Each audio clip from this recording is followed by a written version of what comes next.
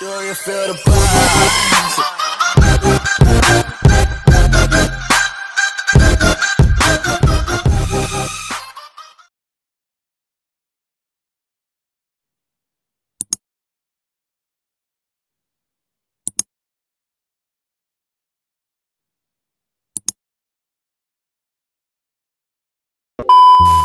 video kali ini aku akan melanjutkan sinetron bawang putih berkulit merah episode berapa ya tadi ya 89 yaitu papanya tetap ingin Wulan dinner dengan calon Wulan Wulan kesal papanya selalu memaksanya. Kehendak dia lalu menghubungi Pak Adiguna Pak Adiguna membaca saat chat Wulan dia tahu kalau Wulan akan dinner dengan calonnya.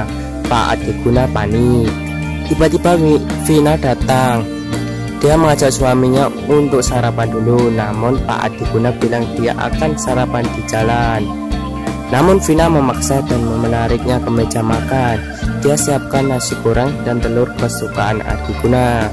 Pak Adiguna hanya melamun dan mengaduk-aduk makanannya. Dia memikirkan Wulan yang akan dinner dengan calon yang dipilih oleh papanya.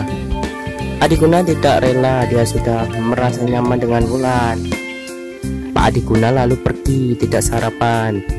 Vina kesal dan marah di depan kantor tampak pada Elisha. Pusing dia bahkan pingsan. Untuk Dennis bisa menahannya tidak jatuh. Dennis laku membawa Elisa atau anak asli ke rumah sakit. Dia bilang kalau anak kenapa. Dennis menggendong Elisa kembali ke Vina tangannya yang luka. Yayan yang melihat itu lalu mengambil obat dan mengobati tangan. Elisa selesai diperiksa, dokter bilang kalau Elisa tidak apa-apa, hanya demam biasa. Ya itu saja dari saya.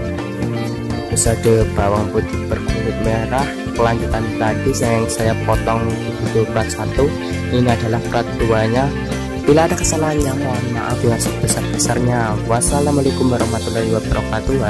Jangan lupa subscribe dan like dan komen channel saya.